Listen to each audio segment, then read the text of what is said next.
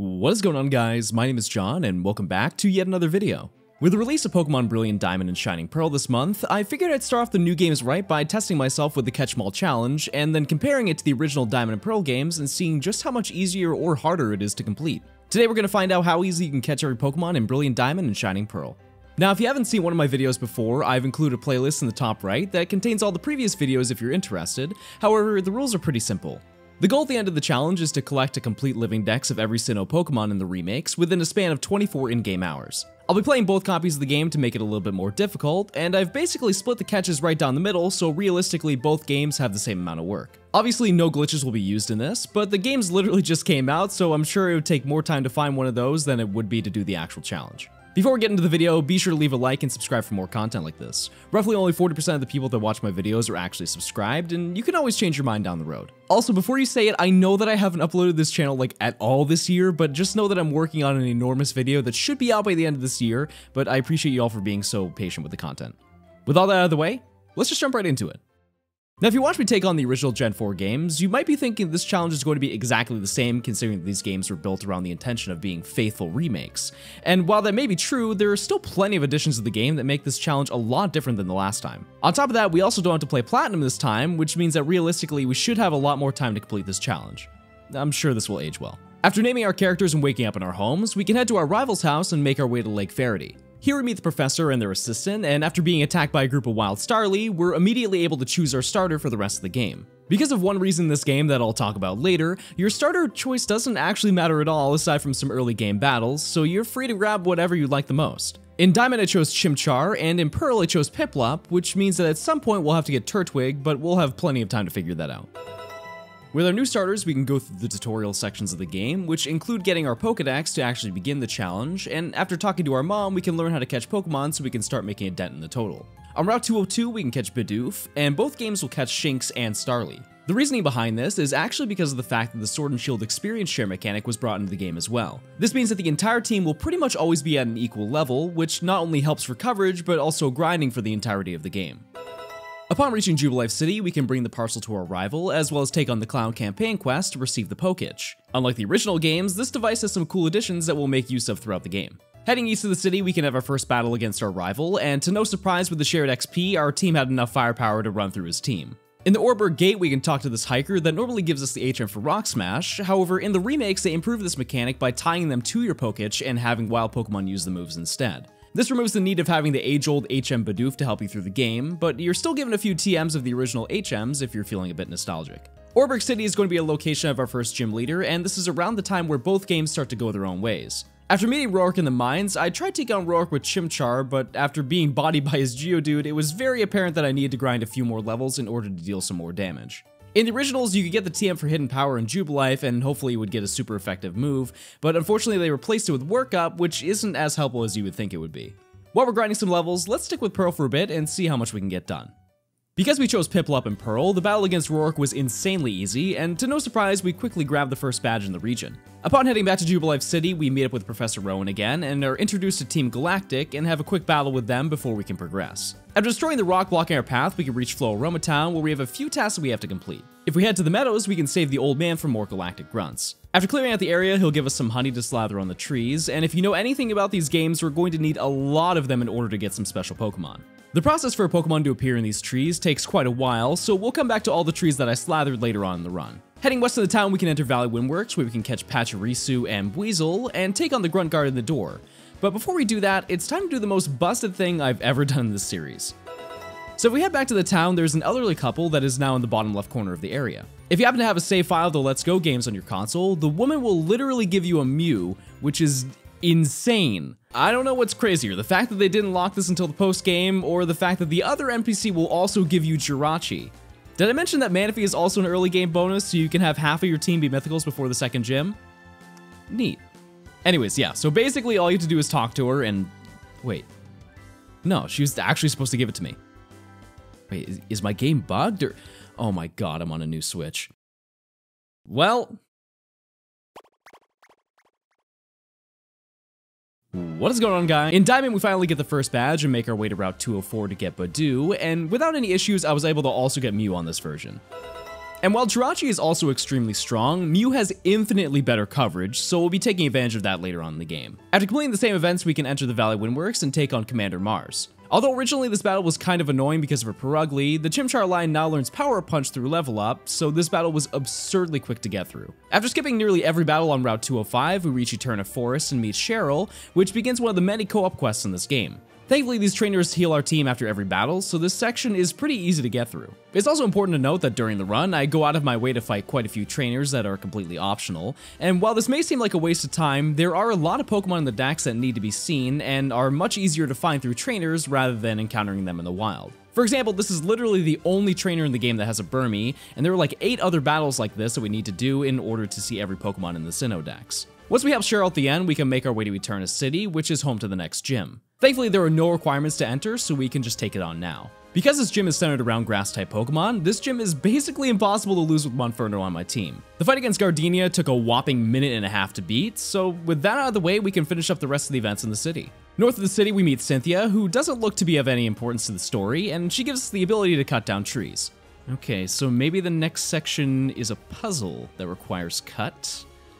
I wonder what we're going to use it on. We find out that another commander is holding the bike shop owner hostage for some reason, so we enter the Galactic building to challenge Commander Jupiter. This battle is a little bit more difficult than the last one, but overall the team is strong enough to handle it. As thanks for saving him, the bike shop owner gives us a bicycle for free, and this time around we're able to pick the color, which is pretty neat. I chose the color of the game so you could tell which one I'm playing a bit easier. The last thing we need to grab here is the Explorer Kit from the old man next to the Pokemon Center, which leads us into the largest addition to the remakes. The underground has been upgraded to the Grand Underground, and while the core aspects of this little excavating minigame are still present, a lot more content was added. The entire map is filled with dens with different biomes, with an absurd amount of Pokemon to grab. And while you can obviously catch a lot of these Pokemon above ground, the fact that you can see like 8 Pokemon at once makes it a lot easier to find what you need rather than getting into random encounters. With that being said, the Pokemon down here are much harder to catch than normal. I'm not sure exactly why they made this way, but early on it makes it nearly impossible to catch anything that isn't Shinx or Bidoof. At the time I didn't know this, so I tried catching Murkrow and got absolutely destroyed, but I assumed that it was just bad luck and kept pushing along. In the Grassland Cave, I managed to catch two Cherubi, Roselia, and a male Combee, which means that yes, you can catch some of the Honey Tree Pokemon down here, which saves a lot of hassle and time. There are still Pokemon that are exclusive to the Honey Trees, so it's important that we still slather every tree that we see on our way throughout the game for the best chances of finding them. After spending way too long grabbing all these, the last thing we need to grab is the version exclusive fossil through mining. Realistically, we don't have to do this right now, but once we reach the post game, more fossils are added, so to better our chances, it's best if we look for it now. In the meantime, let's see what Pearl is up to. Oh no. Alright, maybe we should go back a bit. After saving Cheryl, I spent a bit of time catching two Buneary, which is important to grab as early as possible considering that it evolves through friendship.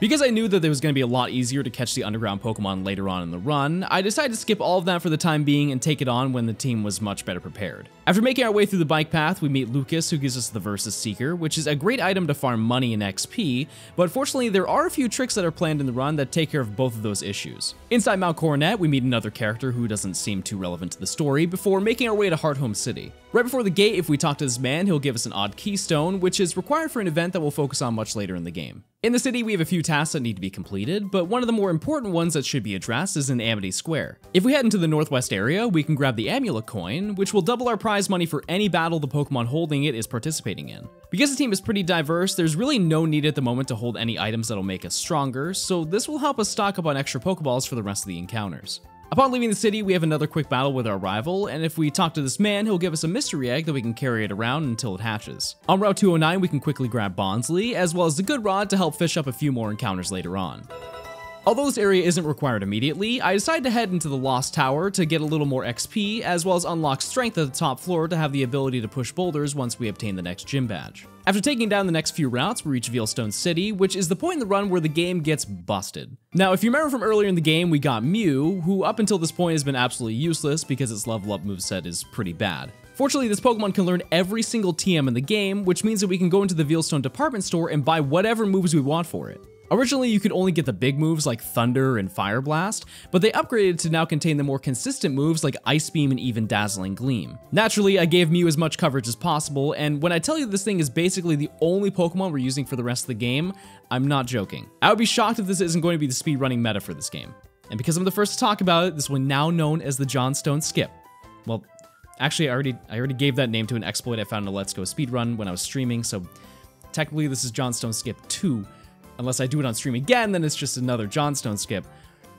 Is this the part where I plug my Twitch streams? Just go go follow me there because I'm streaming until I complete the national dex. Okay, thanks. With our new team, we can head into Maylene's gym, and as you'd expect, Mew one-shots nearly everything in sight. When it came time to take on Maylene, Lucario was a joke, and we were able to grab the third badge without a problem. Now that we've done all this, let's just see how Diamond's doing. After spending way too long in the underground, we were able to get that fossil, as well as some heart scales which are going to be important for a few Pokemon that evolve after learning a specific move.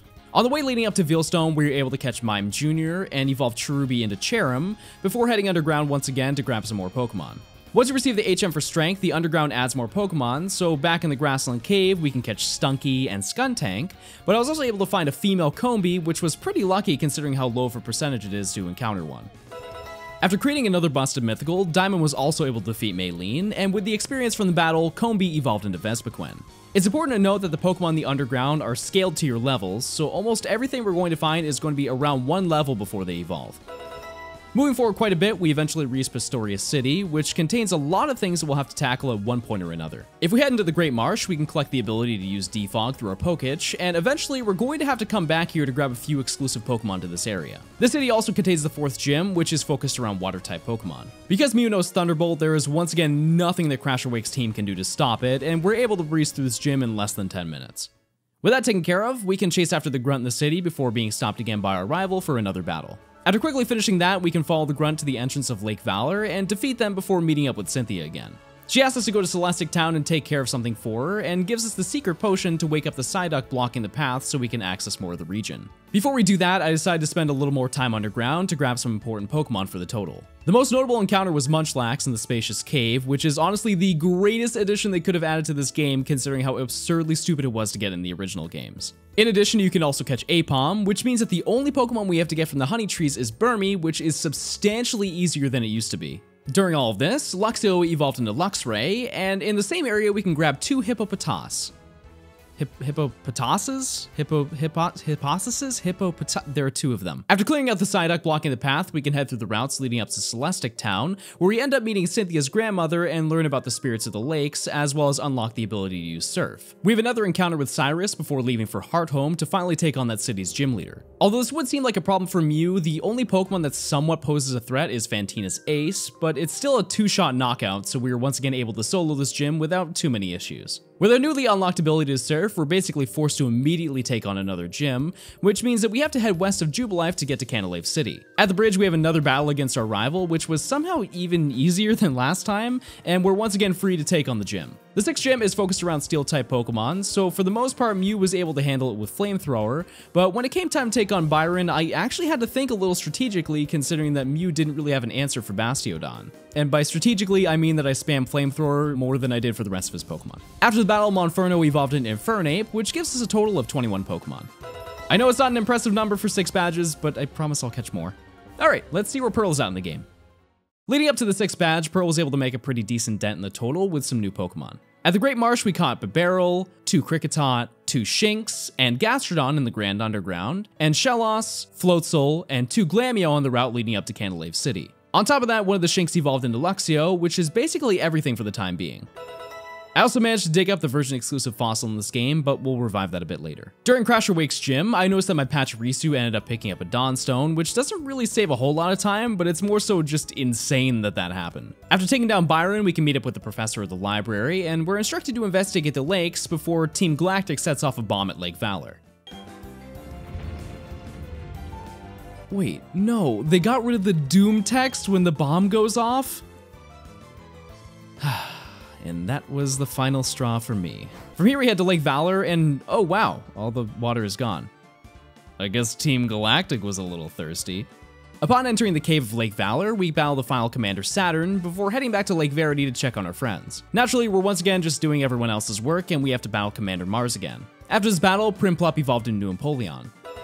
Once the area is cleared out, we meet with the professor, and he suggests that we head to Lake Acuity to check on our rival. After making it through the Celestic Town side of Mount Coronet, we reach Route 216, and we can make our way through the snow to the next city. As we're reaching the top, we can catch Snover, as well as get the item to unlock Rock Climb on our Poketch, which will be unlocked once we defeat the 7th gym leader. Remember when I said early in the video how busted Mew is in this game? It's about to get worse. If we head into the underground, we can access the northwest area of the map, and if we head into this icy cave room, we can grab the lucky egg to double our experience points. As far as I know, this, as well as every other item in the underground, is static, which gives Mew the opportunity to be high enough level to tank any major hits. Considering that we get this right before a bunch of huge battles, the potential for gaining a ton of levels is absurd. While we're down here, I figured it would be a smart idea to catch a few more Pokemon on the way, so I was able to grab Bronzor and Magnemite, and the Hearthome egg finally hatched into Happiny.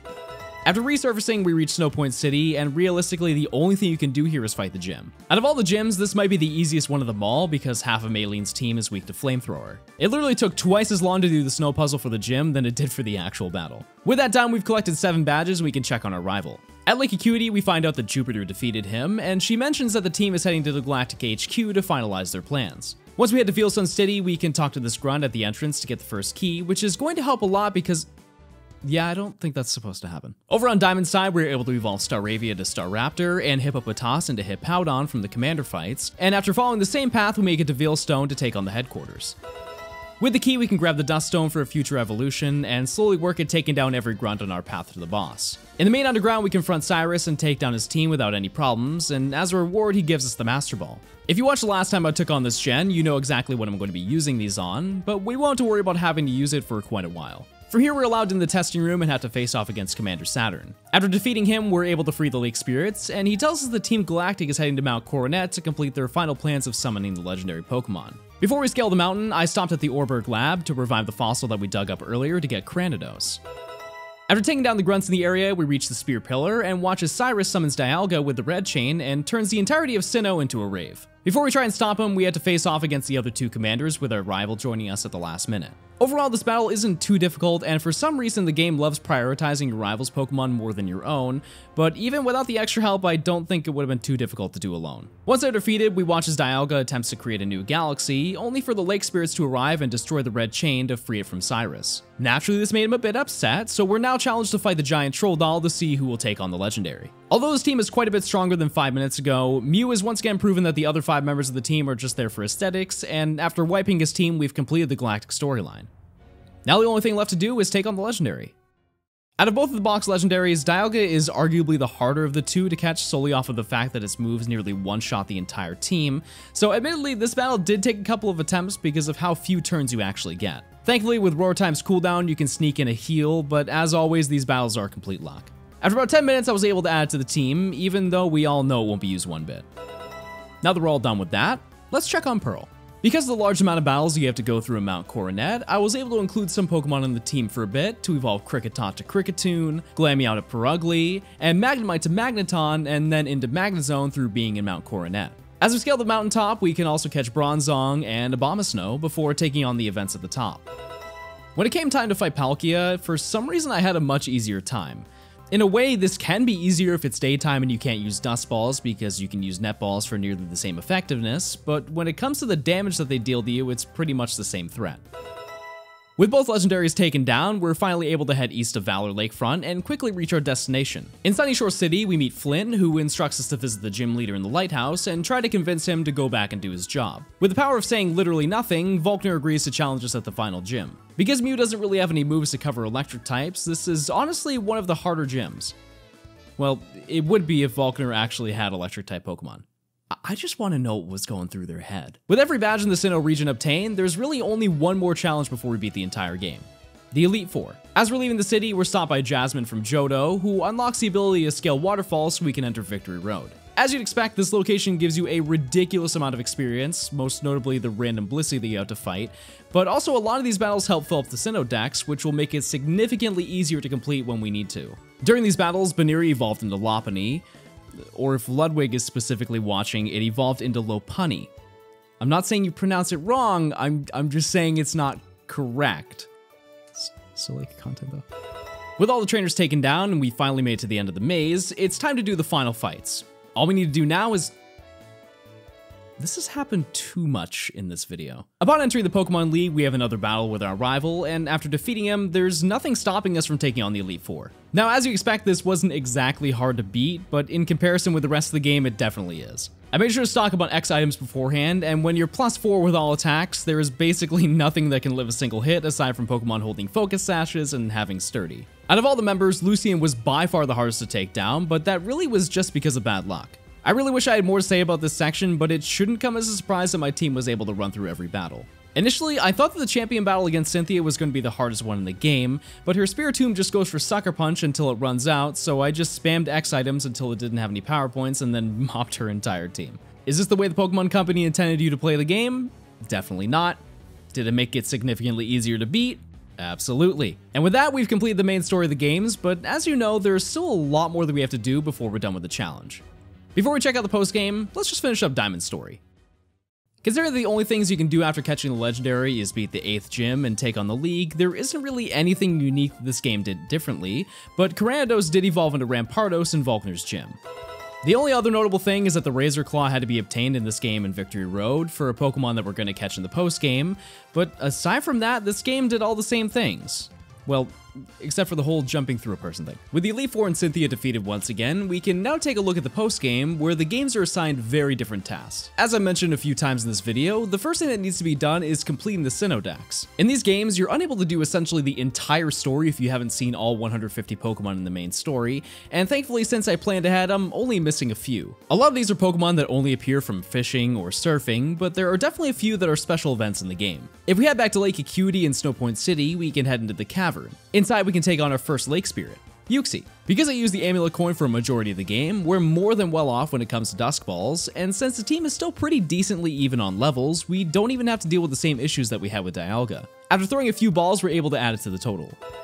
We're also going to grab another one of these Pokemon, but the method to get it is a lot different. If we enter the cave in Lake Verity, we can find Mesprit, but instead of battling it now, it will just instead fly away. Professor Rowan then tells us that Mesprit will roam around the region, and we might randomly come across it, but thankfully I have a better idea. If you head to this building in Jubilife City, you can obtain the marking map on your Poketch. This will allow us to see exactly what route the Pokemon is on without having to find it on a random route. Because it bounces all around the region, all you have to do is take a step in and out of a route until it eventually lands in the same location as you. Now when you encounter this, it will always flee on the first turn, so this is easily the best time to use that Master Ball that Cyrus gave to us. In total, this took like 5 minutes to do, and this catch leaves us with only one more Pokemon to complete the Sinnoh Dex. The last Pokemon that we have to encounter is Drifloon. Now, this specific Pokemon only appears in the Valley Windworks on Friday mornings, and the game is set up so you have to wait an entire week for it to appear. Fortunately, if you just change your Switch's clock to that date, it should appear, but there is a big caveat to this that we'll cover a bit later. With a single Quick Ball, we can add to the total. With our now completed Pokedex, we can head back to Sandgem Town and talk to Professor Rowan and Oak, and our Pokedex will be upgraded to National Mode. Not only does this open up more of the map, but it also gives us a ton of new Pokemon available to catch that we couldn't grab in the base game. Because the majority of these encounters are in the Grand Underground, we're going to save that for last and take on basically everything that's in the main region. Before we do that, if we head back to the Valor Lakefront and go into this building, we can talk to one of the game developers and receive the Catching Charm to potentially help with the rest of this challenge. This isn't related to the challenge, but if you also talk to the sound engineer, you'll get DS sounds, which replaces all the music in the game with the original songs and sounds, which was a very welcome addition to this remake. Now let's run through a few cleanup encounters. At Lake Valor, we can catch Staravia, Chatot on Route 222, and Sneasel on Route 217. If we head back to Hearthome and go to the house to the right of the Pokemon Center, we can talk to Bebe, who will give us an Eevee for beating the game. We'll take care of this evolution when we get to the final grind. From here, we can go to Snowpoint City and take the boat to the Battle Zone. Here we meet our rival in Buck, but we're going to completely ignore the post-game story in this version and leave all that responsibility to Pearl. This game has a much larger task that it has to complete. The island does, however, have a ton of evolution items, so it's important that we grab a few of those before we leave. If we talk to this man, we can get the Super Rod. On Route 229, we can grab the Reaper Cloth, and on the route above, we can get the Shiny Stone to complete all of our tasks for this place. Heading back to the mainland, if we enter the Eterna Forest at nighttime, we can complete another event. Inside the old chateau, there's a room upstairs with a TV. If we interact with it at nighttime, we're able to thump the TV, which allows us to catch Rotom. Despite the legendary music, this Pokemon is extremely easy to catch, but this is honestly one of my favorite events in the entire game. After this, I went back to Route 205 and used the Super Rod to catch Lumineon, which finishes all the above ground encounters for the time being. Before we go underground, I made sure to grab the Shiny Stone from inside Mount Coronet for another evolution that we'll address later.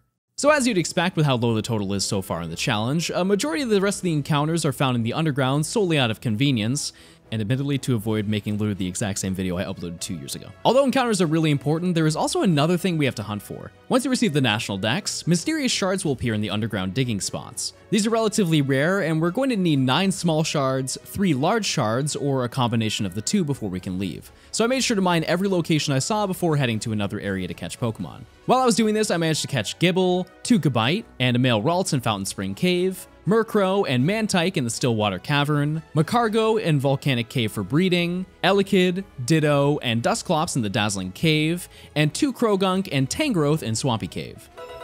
The greatest encounter that I managed to get from this hunt, however, was Turtwig, as you can catch every starter in the dex in the underground, which completely eliminates the need for using a third game in this challenge. During this time, Drifloon evolved into Drifblim, Sneasel evolved into Weavile, and Gabite evolved into Garchomp.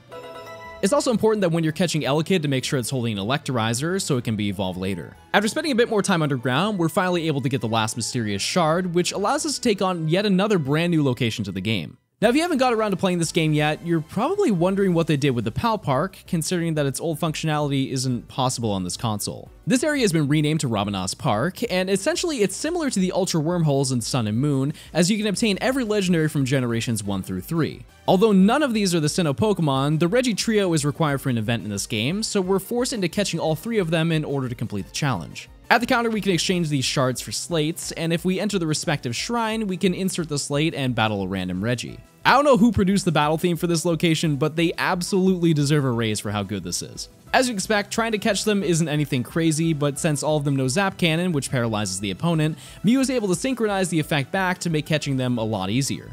After about 10 minutes, we were able to catch Regirock, Registeel, and finally Regice. During this, Elekid evolved into Electabuzz, and Turtwig evolved into Grotle. With a new collection of beasts, we can head back to Snowpoint City and enter the temple. In the basement, if we have all three of them in our party and interact with the Pokemon in the center, we can battle against Regigigas. To my surprise, this was probably one of the easiest legendaries that had to be caught in this game, but I think a big part of that was just because of its ability making it useless for the first few turns. Also after this battle, Aipom evolved into Ambipom.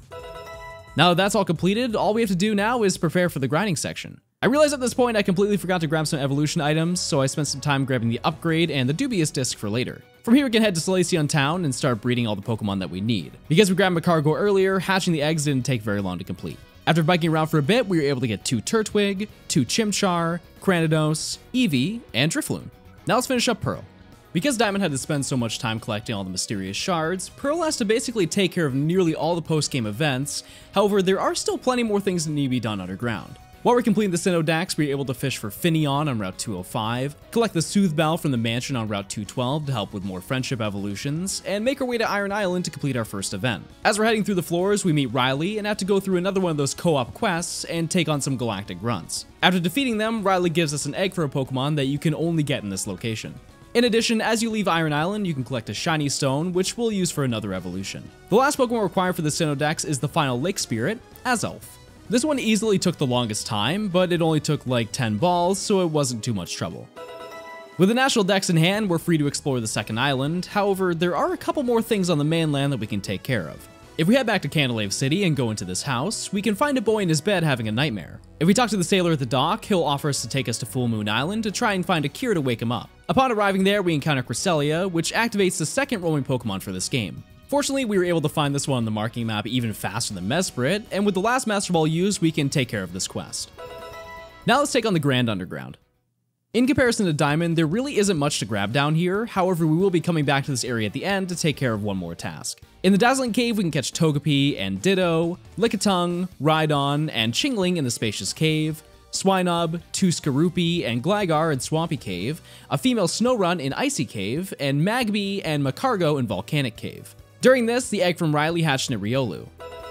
After all that is taken care of, we can head back to the battle area and explore the entire island. Heading through the desert, we can grab another shiny stone, as well as the Protector, before meeting Crasher Wake and our rival at the base of Stark Mountain. We also meet up with Buck, who tells us that they're going to try and find the Magma Stone deep within the mountain, and we make our way through the cave trying to beat him to it. Eventually, you're forced into another co-op mission with Buck, and although there are a ton of trainers in the area, you can skip all but one battle, so if you know how to navigate through the maze, it's really easy. At the end, Buck steals the Magma Stone, and he says he's going back to his house in the survival area. After visiting him there, he got bored of having it or something, and leaves to return it back to the mountain. After going through the entire area again, you can re-enter the room and find Heatran. In my opinion, this is arguably one of the worst side quests in the game, if not the series, because you just have to do the same task back to back, but thankfully I knew the fastest path to get to the room, so this whole event only took about 20 minutes to complete. After the battle, Skorupi evolved into Drapion, Swinub evolved into Piloswine, and Riolu evolved into Lucario. With that done, we basically never have to touch this area again, so let's head back to the mainland and see what else we have to do. At this point, I had completely forgotten to revive the fossil we got earlier, and after redeeming it, we were able to get Shieldon. If we head south of Veilstone City, to the east there should now be an opening that leads to Spring Path where we can enter Turnback Cave. In this area you have to choose the correct door four times in order to reach the deepest chamber. This is entirely based on luck, but to avoid getting sent back to the beginning, all you have to do is avoid entering the same door that you previously entered, and realistically you should make it to the end after going through about 10 rooms. Once you make it to the center, you can confront Giratina. My luck for this battle was absolutely insane. I basically dodged every move that it used on me, and I ended up getting a back-to-back -back freeze with Ice Beam after it thawed out on the same turn. After three Dusk Balls, we were able to add this to the total. Now let's get to breeding. After biking around, we hatched two Piplup and Riolu. During this process, I started to check all the honey trees, and I actually found Burmy, which, like I mentioned earlier, is the only Pokemon you need to grab from these, so this was super clutch to find at the end. Because we need a couple more, I was able to breed another two males, which finishes off all of our catches. Now it's time to grind. As you'd expect, considering that the Pokemon in the Underground are level 60, this is one of the better places to grind, but to be fair, most of the Pokemon that need to evolve are one level away from evolving, so although there are probably better locations, it doesn't take too much time to complete. The only exception to grinding in this area are the Pokemon that evolve based on location, but I'll cover that as we go along. After taking out a bunch of wild encounters, we were able to evolve our catches to get Eevee to Leafeon in the Eterna Forest, Eevee to Glaceon on Route 216, Chimchar to Monferno, Turtwig to Grotle, the second Grotle to Torterra, Croagunk to Toxicroak, Shieldon to Bastiodon, Ralts to Kirlia, Kirlia to Gallade with the Dawnstone, Roselia to Roserade with the Shiny Stone, and Murkrow to Honchkrow with the Dusk Stone. In Pearl, we were able to evolve our catches to get Piplup to Prinplup, the female Burmy to Wormadam, the male Burmy to Mothim, Lickitung to Lickilicky, Piloswine to Mamoswine, Gligar to Gliscor, Togepi to Togetic, Togetic to Togekiss with the Shiny Stone, Snorunt to Froslass with the Dawn Stone, and Misdreavus into Mismagius with the Dusk Stone. From here we can take care of the trade evolution Pokemon to get Rhydon to Rhyperior with the Protector, Electabuzz to Electivire with the Electorizer, Magmar to Magmortar with the Magmarizer, and Dusclops into Dusknoir with the Reaper Cloth. Now let's take on one more task. If we head back to Solaceon Town and go south, we can find a crumbling tower. If we use the odd keystone, it will be converted into the Hallowed Tower, which activates a classic event in the underground. However, it is a lot different than last time. Now, originally, in order to summon Spiritomb from the tower, you were required to speak to 32 people underground. Because the old games didn't keep track of the individual trainers, you could essentially just go in and out of the area with another game and talk to them 32 times, rather than actually interact with that many people. In these games, however, they remove that feature and replace it with NPCs. Throughout each area of the Grand Underground, there are 32 NPCs that you have to find, and I would personally like to speak to the person who set this up the way that they did. Nearly each area that's surrounded by dens contains a specific character, with a chance of a couple others appearing as well. As you can probably guess, all you have to do is run around through the entirety of the underground and talk to each character. To make a long story short, the first 31 took an hour to find, not that bad. But the final 30 second character took me another entire hour because the one location that contained this NPC gave me the same character six times in a row, so I just assumed that it wasn't there. The best piece of advice I can give you is to take a screenshot of your map and write down every person that you see in each area, because the game won't do it for you. At some point, I'll probably make a guide and include in the description, so if you're seeing this a while after it drops, check in the description and I might be able to help you out. Thankfully, when it comes to actually fighting Spiritomb, it's extremely easy to catch, so this took no time at all to finish. Now at this point, you're probably thinking, that's definitely not all the Pokemon. So, are you getting them? And the answer to that is yes, and also no. Let's break it down. Now, in the original games, you could change the date to 1159, wait for the game to roll over to the next day, and refresh the daily events, and that got fixed in this game. To my knowledge, there isn't an exploit, but I'm sure at some point people will find a trick to bypass it, but that essentially means you have to wait a full calendar day to see the next Swarm, Great Marsh, and Trophy Garden Pokemon. Thankfully, the Great Marsh is a little easier to find what you need, so the day after in Pearl, I was able to catch Carnivine and Yanma, who I then evolved into Yanmega, but the last two Pokemon aren't as simple. Nosepass is only available in daily swarms, and Porygon is only available through the Trophy Garden as they remove the gift one that you get from Platinum in Veilstone City. I tried finding it on both copies for 3 days and didn't get it, so unfortunately it's not possible to catch everything in 24 hours. In addition, the mythicals in this game are also not obtainable as the game literally just came out, so Darkrai, Shaymin, and Arceus can't be obtained legitimately until their respective items are released. Manaphy, on the other hand, is a different story. If you connect a mystery gift, you can receive a free Manaphy as an early purchase bonus. This event only goes until February 21st of 2022, so eventually this challenge will become even more impossible, but if you check your mystery gift at the time this video goes up, you should be able to get one. With breeding to get Phione, this gives us a total of 102 out of 107 Sinnoh Pokemon, and this is unfortunately the end of the challenge. But how did I do? So let's review. In Diamond, we finished literally at the buzzer with a time of 11 hours and 57 minutes, and in Pearl, we finished with 11 hours and 23 minutes. In all honesty, Pearl would have finished this a lot faster if it didn't have to spend two entire hours hunting Spiritomb, but I'm very glad that I made that decision or the times would have been really lopsided. I know I didn't complete the challenge on this one, but I genuinely tried my best to get everything. Although I could have waited to get the clips for all of those encounters, considering that there are about 20 of each swarm and trophy Pokemon, this video could have taken nearly a month to come out, and considering that I haven't uploaded in forever, I really wanted to come back to the new game's release because I miss making content.